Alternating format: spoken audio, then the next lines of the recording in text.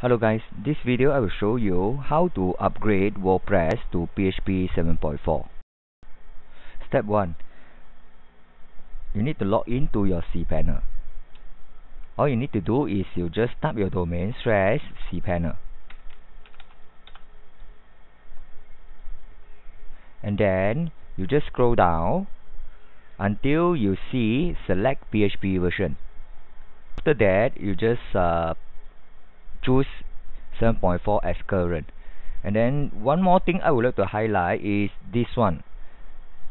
MySQLi this one and uh, this one. These two has to be enabled for WordPress to work. If this two is missing out your WordPress won't run. Step 2 check PHP version. All you need to do is just, just go to tools and then site health and then from here if uh, you already upgrade uh, the PHP version you will see no error here. You will see the site health is good. If the site is still using the old version WordPress will highlight somewhere here. And then you can also see all the past tests as well. For example the SQL server is up to date. And then the is using HTTPS connection. And then all this stuff one more thing I would like to highlight is uh, the recommended improvement. The remove inactive plugin this one if yours is a high traffic site I recommend you remove them. Those plugin that you do not need.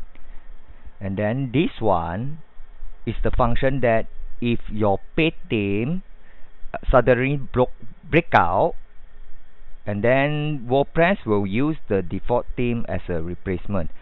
At least your front end do not break up completely. This one is a very good uh, option.